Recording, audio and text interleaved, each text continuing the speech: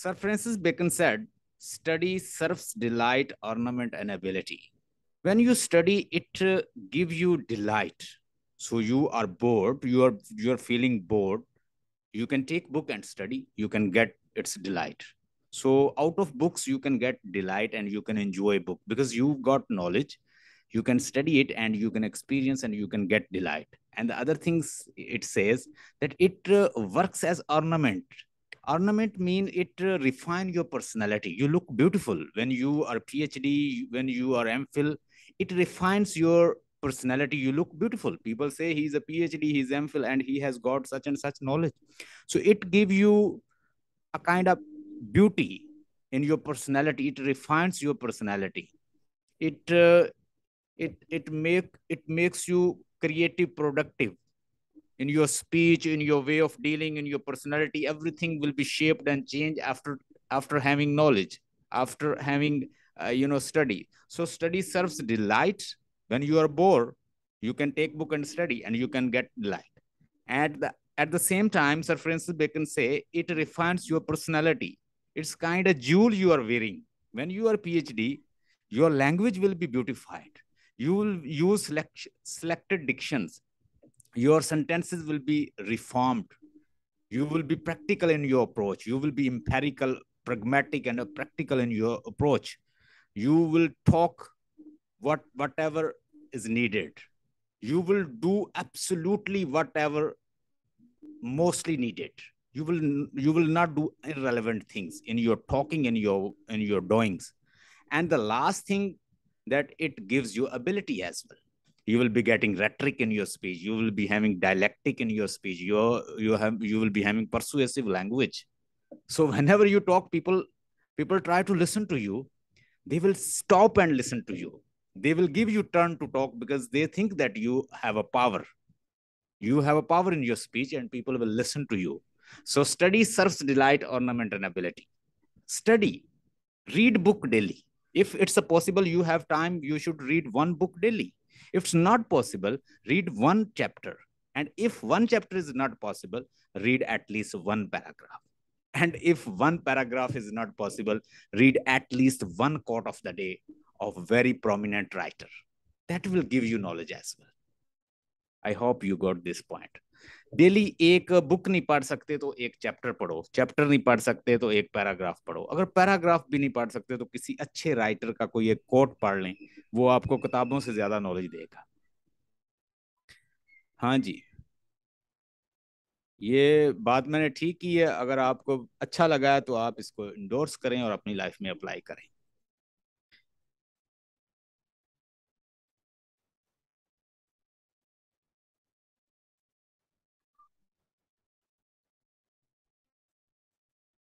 Okay.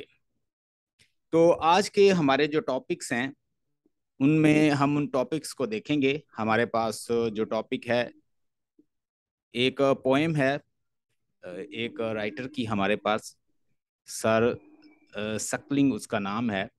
So why so pale and wan poems critical appreciations. Terry Eagleton's life works and Terry Eagleton literary theories. इसको हम बाद में देखेंगे at the moment हम ये देख रहे हैं ये पोएम देखते हैं अच्छा ये सर जॉन सकलिंग एक राइटर है जो कि चार्ल्स वन के दौर का राइटर है थोड़ा सा मैं इस पोएट को डिस्कस करने से पहले मैं आपको पॉलिटिकल बैकग्राउंड बता देता हूँ उसी दौर का आ, सर जॉन सकलिंग के दौर का सर सर जॉन सकलिंग पैदा हुआ है 1909 में और सोलह सौ इकतालीस बैतालीस में इसकी डेथ हुई है।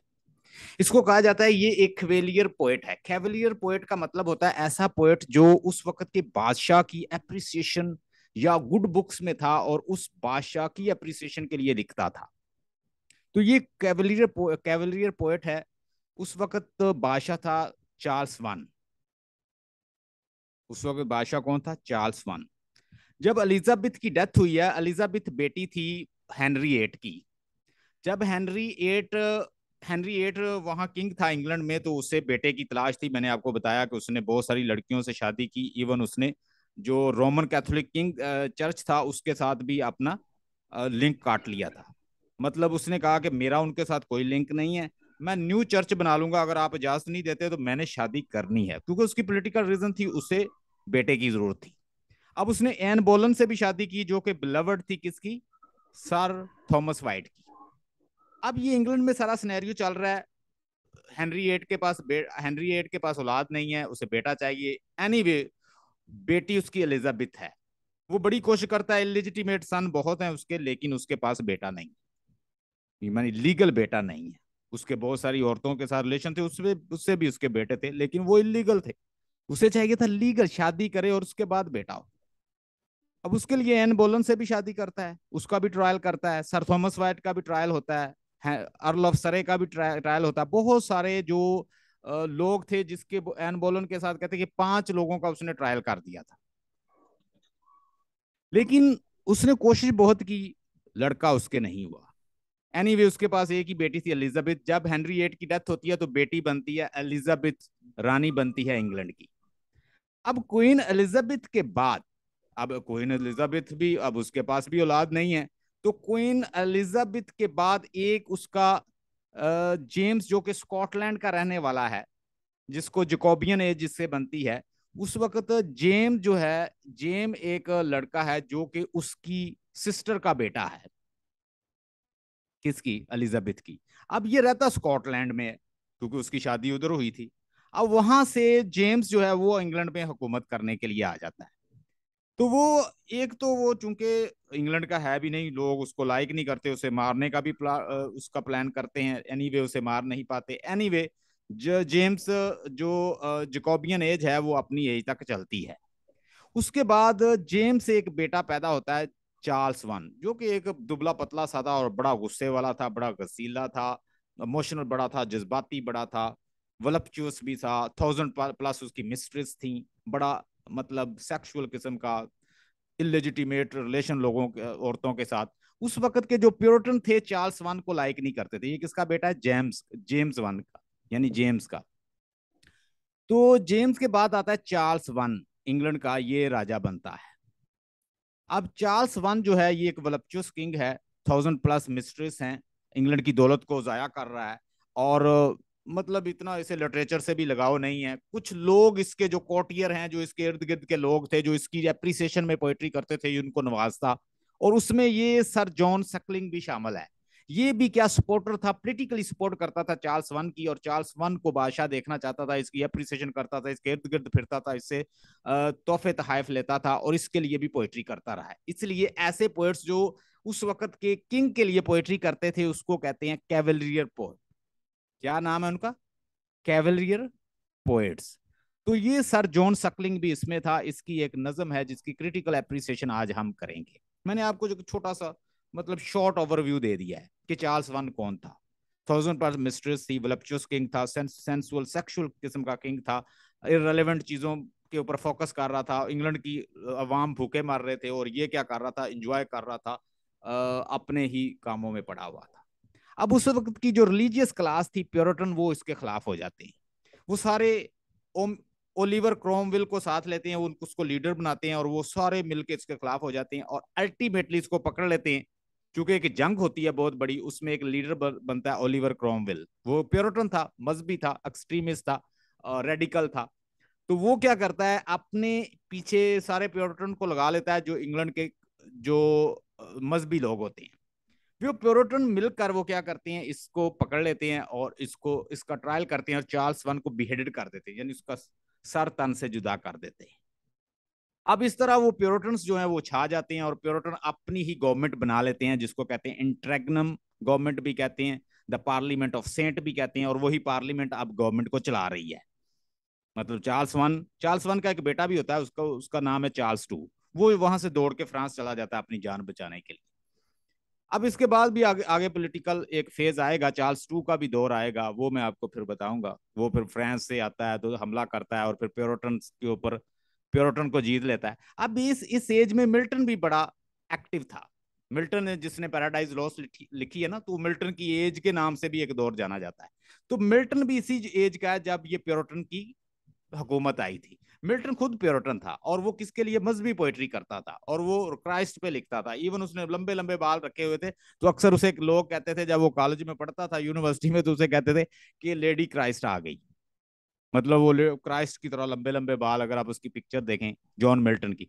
तो जॉन मिल्टन ने पैराडाइज लॉस लिखी। उसने रिलीजन से बाइबल से इन्फ्लुएंस होके वो एक प्योरटन था। और जब उस वक्त जब वो प्योरोटन आ जाते हैं तो वो प्योरोटन और ओलिवर क्रोमवेल और इन लोगों की सपोर्ट में वो पोइट्री करता है और पैराडाइज लॉस लिखता है। इसके अलावा और भी मजहबी उसके वर्क हैं, वो उसके लिए पैराडाइज रीगेंड भी लिखता है कि जब वो चार्ल्स टू आ जाता है तो वो उसको असल में वो उसके लिए पोइट्री करता है, चार्ल्स टू को क्रिटिसाइज करने के लिए। क्योंकि चार, चार्ल्स टू दोबारा आता है, फ्रांस से हमला करता है तो वो काबज हो जाता है, क्योंकि उसके बाप को भी बेहेडेड किया गया था, उसके सर सर उन्होंने तन से जुदा किया था। कत्ल किया था तो वो क्या अब अब अपने बाप का बदला लेने आता है फ्रांस से। उस वक्त मिल्टन को भी पकड़ लेते हैं और मिल्टन को भी हाउस रेंट किया जा हाउस अरेस्ट किया जाता है और मिल्टन कहता है भाई हम तो पोएट हैं। वो अपने घर के सामने एक लगा देता है एक स्टिकर सा उसके ऊपर लिख के लगा देता है पोस्टर पे भाई हम तो पोएट हैं हमारी किसी से क्या दुश्मनी? एनीवे anyway, वो एक प्योरटन एक स्टोच प्योरटन था वो भी। अब ये बात हो रही है चार्ल्स वन के दौर की। हम अभी चार्ल्स वन के दौर में ठीक है? और ये इसकी एज देखें, ये सेवनटीन सेंचुरी का पोएट बन रहा है। मतलब ये अर्ली सेवनटीन सेंचुरी और इसमें आ रही है। तो ये सेवनटीन सेंचुरी का पोएट बन रहा है। तो 1609 से लेके 1641 ये इसकी एज है। Was of the foremost cavalier poet the group of aristocratic English writer who supported King Charles one during the English civil war अच्छा जब ये वलपचुस था आ, मतलब रेलिवेंट कामों में पड़ा हुआ था इंग्लैंड की इंग्लैंड पे टैक्सेस ज़्यादा लगाए गए जा रहे थे और इंग्लैंड की जो दौलत है उसको दोनों हाथों से अपनी मिस्ट्रेस पे लुटाया जा रहा था बिलवर्ड पे लुटाया जा रहा था जो इलेजिटिमेट रिलेशन औरतों के साथ बनाए हुए थे उस पर लुटाया जा रहा था शराबे पीता इंजॉय करता। तो और इस ये इसको छोटी छोटी बातों पे लड़ पड़ता क्योंकि जो इस तरह के लोग होते हैं शराबी वगैरह वो लड़ भी पड़ते हैं जल्दी। तो बहुत सारे लोगों के साथ ये बिगाड़ता गया बिगाड़ता गया और अल्टीमेटली वो सारे इकट्ठे होके इसके खिलाफ वो एक ऐलान कर देते हैं रिवोल्ट कर देते हैं और उससे सिविल वार हो, शुरू हो जाती है। बहुत सारे लोग कुछ चार्ल्स वन के साथ शुरू हो, हो जाते हैं और कुछ लोग उसके साथ प्योरोटन के साथ मिल जाते हैं। प्योरोटन कौन है? वो मजहबी जमाते हैं। ठीक है? तो इस तरह कुछ राइटर उस वक्त मौजूद थे जो चार्ल्स वन के लिए लिख रहे थे उससे नाम लेने के लिए, तहाइफ लेने के लिए, फ़ायदा लेने के लिए, कुछ लोग हो जाते हैं बादशाह के साथ। तो ये जॉन सकलिंग सर सकलिंग जो है, इसको जो सर का खिताब मिला हुआ है सर जॉन सकलिंग जो है 1609 1641 ये क्या करता है? ये कॉन्टेम्प्ररी था चार्ल्स वन का और ये उसके लिए काम करता है। Suckling made himself reputation as a poet lover fighter and politician आप उसकी नजम से देखें देखोगे कि उसकी नजम से ऐसे लगता है कि उसने किसी से प्यार किया और उसने धोखा दिया वो उसकी बात नहीं सुन रही। तो अगर आप उसकी आ, इसकी आप देखिए इसका वर्क देखें ये पैदा हुआ है February ten February ten sixteen zero nine में यूनाइटेड किंगडम में पैदा हुआ है यूके में इंग्लैंड में और इस, इसकी डेथ हुई है June one sixteen forty two में। पेरिस, फ्रांस में जाके इसकी डेथ हुई। सर जॉन सकलिंग एक नोटेड कैवलियर पोएट है। कैवलियर का मतलब होता है ऐसा पोएट जो बादशाह के लिए सिलेक्टेड होता है और बादशाह की अप्रिसिएशन के लिए लिखता है या उसको अप्रिशिएट करता है, उसके लिए पोएट्री करता है। Why so pale and wan fond lover 1637 में ये इसने कोई प्ले है, उसके अंदर इसने ये लिखा। इन दिस पोएम इस पो, इस पोएम के अंदर वो क्या करता है कि speaker consoles his heart broken friend यानी इस अगर इस पूरी पोएम को पढ़े ना मैं आप, आपको इसकी समरी बताता हूँ। जब हम इस पूरी पोएम को पढ़ते हैं तो हमें पता चलता है कि जो पोएट है स्पीकर है जो इस पोएट्री का वो क्या कह रहा है आप उसके सामने उसका फ्रेंड है। वो उस फ्रेंड से डायलॉग कर रहा है और उसके साथ जो वो डायलॉग कर रहा है बड़ी रेट्रिक और बड़ी उसे ऐसा आंसर कर रहा है जिसका, ऐसे आंसर ऐसे क्वेश्चन पूछ रहा है जिसका उसे आंसर पहले से पता है।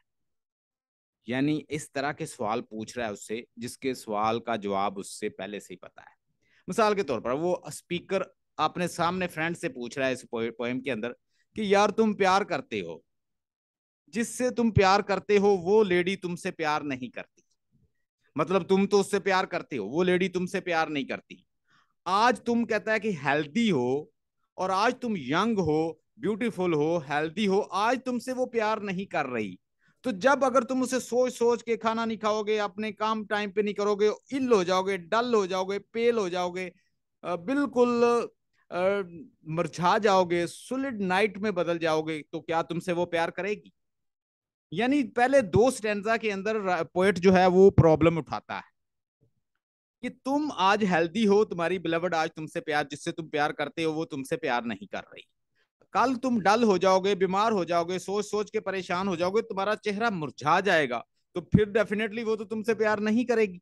तो इन दोनों में वो उसका मसला उठाता है और लास्ट में उसे कहता है कि उसको किस तरह से तुमने भूलना है। अब एक बीमारी है ना तो वो भी एक बीमारी है कि वो परेशान है पोएट तो पोएट को वो सोल्यूशन बताता है कि स्पीकर सोल्यूशन बता रहा है और स्पीकर जो है वो पहले तो उसका मज़ाक उड़ाता है और आखिर में वो उसे सोल्यूशन भी बता देता है। जैसे मैंने बताया कि ऊपर वाले स्टैंडा में हमेशा पोएट प्रॉब्लम उठाता है और नीचे जो मसला है उसका मसला भी हल कर देता है। भाई, इसका ये मसला इस तरह से इसे हल किया जा सकता है। अनरिक्वेटेड अनरिक्वेटेड लव लव का मतलब होता है ऐसा लव जिसके बदले में आपको लव नहीं मिल रहा। अनरिक्वेटेड लव ये एक अनरिक्वेटेड लव है, जिसके बदले तुम्हें प्यार नहीं मिल रहा। तो स्पीकर को कहता है, आज तुम हेल्दी हो, नौजवान हो यूथ हो, सब कुछ है वाइब्रेंट भी हो डायनेमिक भी हो, तुम्हारा फेस बड़ा खूबसूरत है। आज तुमसे, वो तुमसे प्यार नहीं कर रही, तुम्हें प्यार नहीं दे रही। कल को जब तुम सोच सोच के बीमार हो जाओगे, क्या तुमसे वो प्यार करेगी? बड़ा उस, वो एक एक क्वेश्चन उठाता है, उस वक्त के पोएट्स जो है, इस तरह की पोएट्री कर रहे थे। क्योंकि मैंने आपको बताया कि जो हमारा उस वक्त का जो किंग था, चार्ल्स वन, वो खुद एक वलपचोस था। बहुत सारी लेडीज़ और मिस्ट्रेस के साथ उसके ताल्लुक थे और उनके साथ इलिजिटिमेट रिलेशन में रिलेशन में था और इलिजिटिमेट रिलेशन से उसके, उसकी औलाद भी थी। तो इस वजह से उसके साथ जो कवेलियर पोएट है, वो उसके लिए ही पोएट्री करते थे। तो इसी तरह की पोएट्री करेंगे। तो यहाँ पे वो क्या कह रहा है कि if the friends beloved had no time for him when he was cheerful lively and speaker से, फिर स्पीकर उसे कहता है why on earth would she change her mind no that the friend is pale जब तुम, कहता पेल हो जाओगे, जर्द हो जाओगे बीमारी में पड़ जाओगे, बीमार हो जाओ तो वो तुमसे फिर प्यार क्यों करेगी? एंड जनरली अड्रैक disappointed love, this poem suggests, is the best taken in stride. Act to love lawns, and you will only embarrass yourself. भाई सब कुछ होने के बाद तुम अपने आप को मायूस ही करोगे, तुम्हें कुछ नहीं मिलेगा। अभी हम इसको पढ़ते हैं कि इस पोएम में वो क्या कहता है। देखते हैं। The full text of why so pale and wan fond lover why so pale and wan fond lover तुम क्यों परेशान हो रहे हो? फाउंड लवर ए लवर तुम क्यों परेशान हो प्रीथी प्रीथी का मतलब होता है प्लीज़ ये आर्खेक इंग्लिश है। ये कौन सी है? पुरानी इंग्लिश है, इसको कहते हैं आर्खेक इंग्लिश। ऐसी इंग्लिश जब पुराने वर्ड्स यूज़ करते हैं तो उसको कहते हैं आर्खेक वर्ड। और ये भी अक्सर पोएट्स जो हैं, वो यूज़ कर लेते हैं आर्खेक ठीक है? आर्खेक का मतलब होता है पुरानी English, old English prithee prithee why so pale तुम क्यों जर्द हो रहे हो? तुम क्यों डिप्रेस हो रहे हो? तुम क्यों क्यों बीमार हो रहे हो? उसे सोच सोच कर। विल और आपने देखना मुझे बताना है कि कहाँ तक वो प्रॉब्लम बता रहा है और कहाँ सोल्यूशन बता रहा है ये आपने खुद नोट कर। प्रीति वाई सो पेल प्लीज़ मुझे बताओ क्यों परेशान हो हो? क्यों डिप्रेस हो? Will when look well can't move her तुम्हारी तुम्हारे अच्छे चेहरे के साथ भी, भी वो तुम्हारे साथ नहीं चल रही मूव हार वो उसको वाइब्रेट नहीं कर रहा वो उसको मूवमेंट नहीं दे रहा वो उस पर बिल्कुल टस से मस नहीं हो रहा तुम्हारा तुम्हारी बिलवर्ड तो when looking well can't move her जब तुम बहुत खूबसूरत हो, बहुत अच्छे लग रहे हो। वेन लुकिंग वेल जब तुम बहुत अच्छे हो यूथ हो ब्यूटीफुल हो कैंट मूव हर तुम्हारा प्यार उसे नहीं मूवमेंट दे रहा या वो तुम्हारे साथ नहीं चल रही। आगे वो कहता है लुकिंग इल प्रिवेल और तुम कैसे अब देखें पोएट्री की लैंग्वेज हमेशा शॉर्ट होती है मैट्रिकल होती है। ठीक है, आपने खुद उससे मीनिंग ले। लुकिंग इल प्रिवेल तो मुझे ये बताओ कि जब तुम बिल्कुल मुरझा जाओगे तो वो किस तरह तुम उसका दिल जीतो, जीतोगे? प्रवेल का मतलब ऐसे छाना होता है। तो तुम किस तरह उसका दिल जीत लोगे फिर? आगे कहता है, पृथ्वी वाई सो पेल का मतलब old English please why so please मुझे बताओ, तुम क्यों पेल हो रहे हो? क्यों परेशान हो रहे हो? क्यों जर्द हो रहे हो? क्यों मुरझा रहे हो अपने आप को? क्यों अपना टाइम जाया कर रहे हो?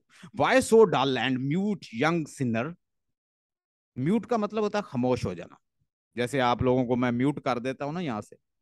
वाई सो डल तुम क्यों इतने डल और म्यूट हो? क्यों खामोश रहते हो? क्यों डल रहते हो? अपना हाल क्या बनाया हुआ है? यंग सिनर ए यंग नौजवान।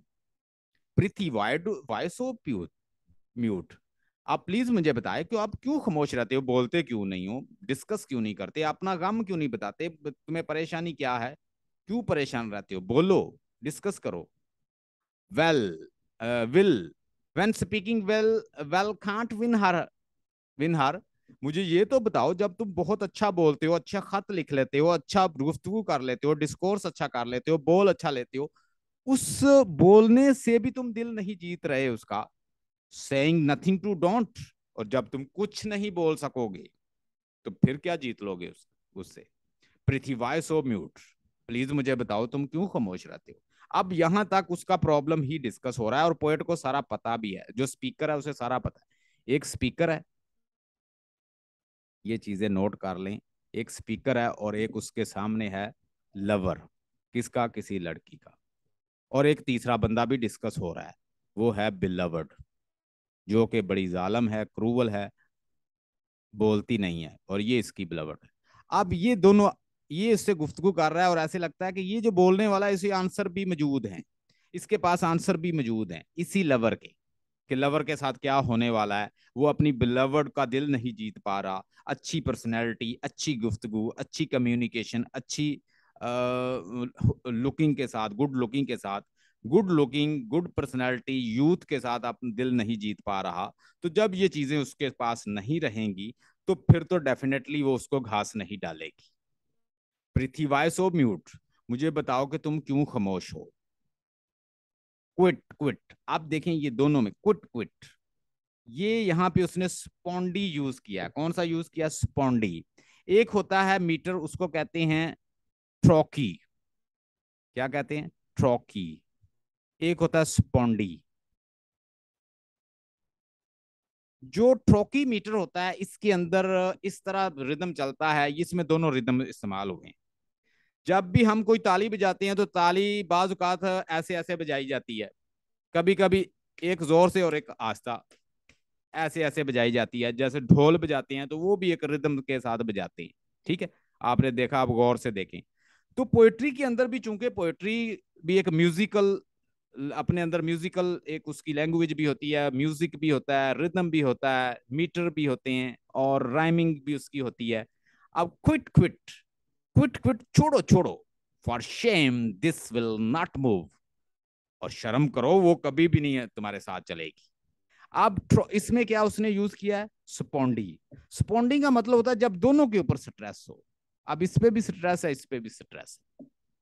तो ये ऐसा रिदम बनेगा डम डम इस पे भी और दोनों के ऊपर क्विट क्विट जैसे हैंड शेक हैंड शेक दोनों के ऊपर है, ठीक है?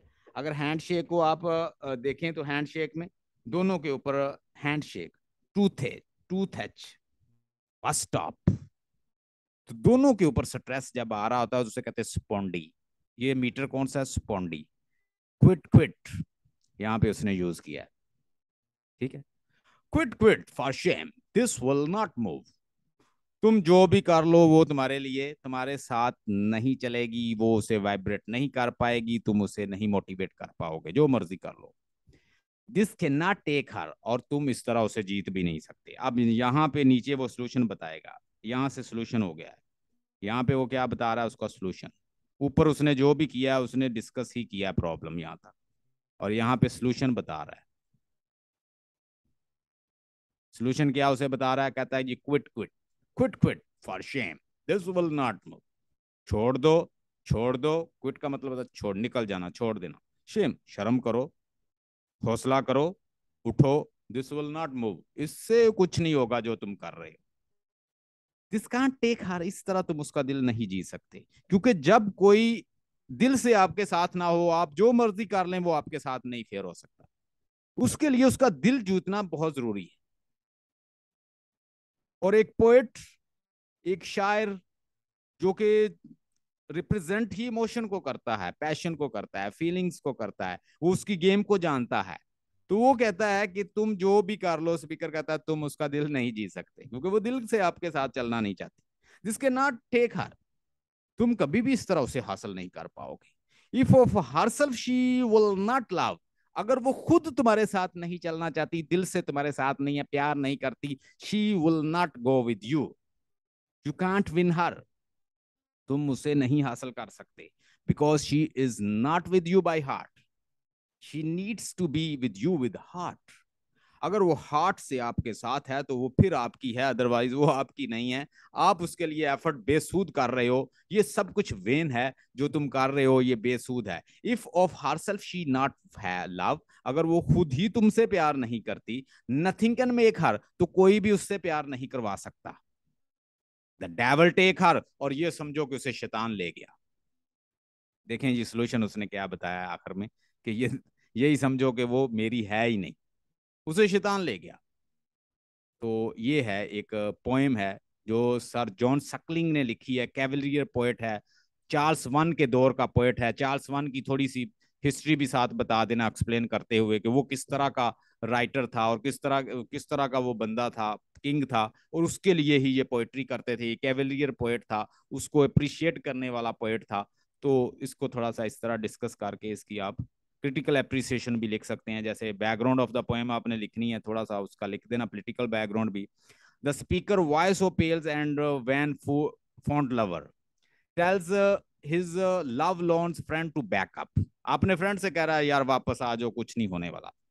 साइंग साइंग होता है आहें भरना। Sighing and looking pale the pale might be the traditional sign of love the speaker says but they won't change his friends predicament. जो फ्रेंड्स की हालत है बुरी हालत है वो चेंज नहीं होगी जो मर्ज़ी करते रहो। देखिए बंदा जो एडिक्टेड होता है ना जो नशा करता है आप उसे कहते नशा न, नशा ना कोई वो कहता है जी नहीं करता।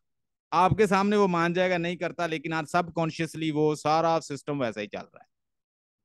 वो तो वैसे चल रहा है ना क्योंकि नशा तो ब्लड में आ गया है उसके पैटर्न बन गए हैं ब्रेन में। अब जहाँ पे वो कोई नशाई को देखेगा तो वो फ़ौरन सिगरेट पकड़ के पी लेगा।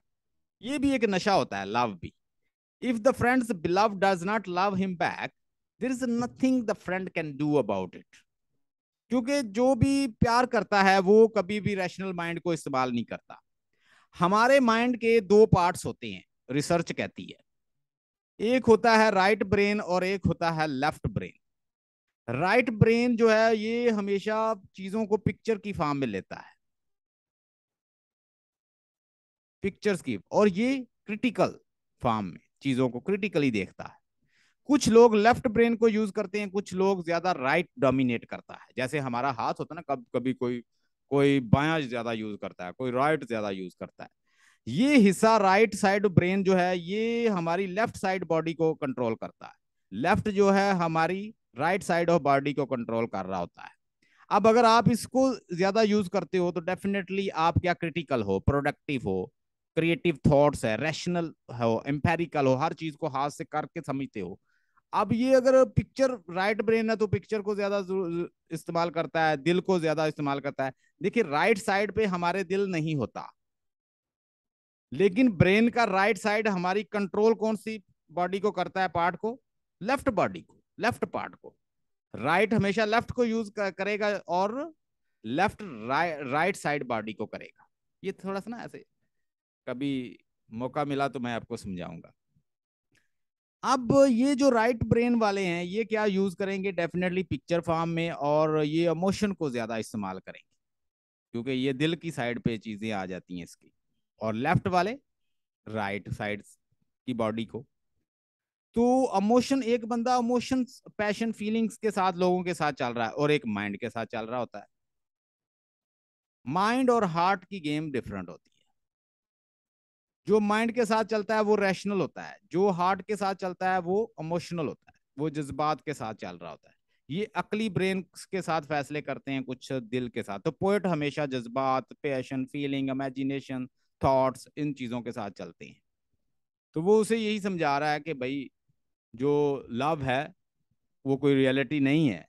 अगर बंदा अगला साथ ना चलना चाहे तो आप साथ नहीं चल सकते। So longing for what you simply can't have is foolish ऐसी चीज़ की लॉन्गिंग करना जो आप ले ही नहीं सकते, जिसको हासिल ही नहीं कर सकते, ये एक फुलिश एटीट्यूड है। The poem unromantically suggest that the best thing to do about unrequited love is to move on and quickly as possible जिस चीज़ से कोई रिस्पॉन्ड ही नहीं आ रहा, जिसका कोई रिज़ल्ट ही नहीं आ रहा रैशनल ब्रेन को यूज़ करो और मूव ऑन आगे से उससे आगे निकल जाओ। Longing for what you simply can't have is foolish ऐसी चीज़ की लॉन्गिंग करना, ऐसी चीज़ की ख्वाहिश करना जो हो ही नहीं सकती, ये एक फुलिश एटीट्यूड है। इसका बैकग्राउंड है। आगे इसमें अनरिक्वेटेड लव के थीम्स बता देना। इसमें थीम क्या है? हाँ जी, क्या थीम है इसमें? आप इसमें बता सकते हैं, जो मेजर थीम है, इसमें रिक्वेटेड अनरिक्वेटेड लव है, कि प्यार के बदले प्यार नहीं मिल रहा। तो आप इसमें हवाला दे सकते हैं कि ये एक एक डाइडो जब हम पढ़ते हैं, शेक्सपियर को पढ़ते हैं, एक अनीड वर्क है होमर का, ठीक है? होमर का एक वर्क है अनीड। उसके अंदर उसके अंदर जो उस वक्त की एक गॉडेस है, वो कोशिश करती है कि वो किसी से प्यार कर ले, उसके साथ टाइम स्पेंड कर ले, लेकिन वो उसका दिल नहीं जीत पाती। यानी ट्रोजन हीरो का दिल नहीं जीत पाती। और इसी तरह शेक्सपियर के शेक्सपियर भी वीनस एंड अडोनिस एक उसकी पोएम है, बहुत लंबी पोएम है। अब इसके अंदर जो गॉडस है वीनस ये अडोनिस जो है, इसका दिल जीतना चाहती है। ये शेक्सपियर ने लिखी है। तो आप इसके हवाले दे सकते हैं कि लव जो है, वो ज़रूरी नहीं कि जो बंदा किसी से लव करे तो आगे से भी लव मिले। ये ज़रूरी तो नहीं है। अब एंशियंट ग्रीक के अंदर ये ये काम जो एनिड लिखी है उसमें भी इस तरह डाइडो जो एक गॉडस होती है, वो ट्रोजन हीरो को दिल दे बैठती है, लेकिन वो उससे प्यार करना चाहती है, लेकिन वो उससे प्यार नहीं करता। डाइ, डाइडो जो है वो फेल हो जाती है ट्रोजन हीरो के सामने, अनीस के सामने। अनीस उसे दिल नहीं देता। तो इसी तरह वीनस और ओडोनस जो है, ये भी एक रोमन ग्रीक्स मिथोलॉजी के ऊपर है, जो शेक्सपियर ने लिखी है तो इस